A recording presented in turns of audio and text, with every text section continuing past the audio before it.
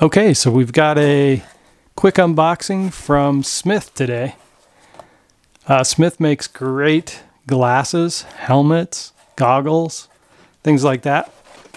And I sent a pair of sunglasses back to Smith uh, after about two years. I left them on the hood, uh, on the dash of my car, and the sun just baked the little nose grommets and cracked them. So uh, they said that's a manufacturer defect, and they were able to warranty them uh, with this pair.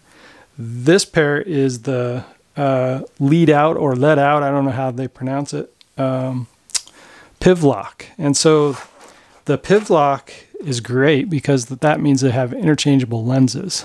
So not only did I get gray lenses with the white frames, but I also have a lighter pair of lenses that I can switch out for low light situations when mountain biking. So let's take a look at these. They should be pretty sweet. And I haven't seen these yet, so I'm pretty excited to share this with you. Okay, a couple instruction booklets, additional nose grommets. The in addition to the hard case, it does have a soft case with it as well, which is nice for cleaning. Um, these are the glasses themselves. And then the extra lenses too, you can see how they are a different color for low light.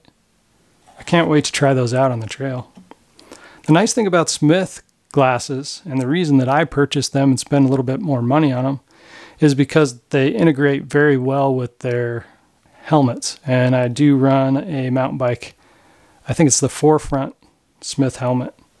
Um, so these glasses should work really well with them. Um, I don't know how to use the Pivlock. I'll have to read up on that, but you can see right here, there's a split in the frame. And so uh, there's a way that you twist this to pop that open and then the uh, ChromaPop lenses are interchangeable that way. So these are pretty nice. Uh, I'm pretty excited about these. And uh, we'll do a review as soon as we get a chance to test these out on the trail. Thanks for joining me today. Bye-bye.